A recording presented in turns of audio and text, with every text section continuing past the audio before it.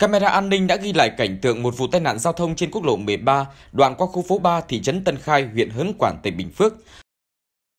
Thời điểm này là khoảng 5 giờ 20 phút sáng ngày 18 tháng 1 năm 2021, tài xế Huỳnh Văn Khởi, 40 tuổi, ở tỉnh Sóc Trăng, điều khiển xe tải lưu thông trên đường quốc lộ 13, hướng từ thành phố Hồ Chí Minh đi huyện Hớn Quản. Đến ngã tư giao nhau giữa quốc lộ 13 với đường DT 756B, tài xế Khởi dừng xe, từ từ chuyển hướng rẽ trái qua đường.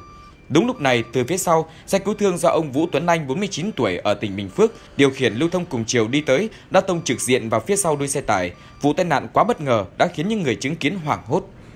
Cú tông mạnh khiến chiếc xe cứu thương bị bể nát phần đầu, tài xế xe cứu thương bị kẹt cứng trong cabin, nhiều người phải dùng cây sắt phá cửa xe, giải cứu tài xế ra ngoài và đưa đi cấp cứu sau đó trong tình trạng bị thương nặng. Một y tá ngồi trên xe cũng bị thương. Lực lượng cảnh sát giao thông công an tỉnh Bình Phước sau đó đã có mặt tại hiện trường điều tra làm rõ nguyên nhân vụ tai nạn.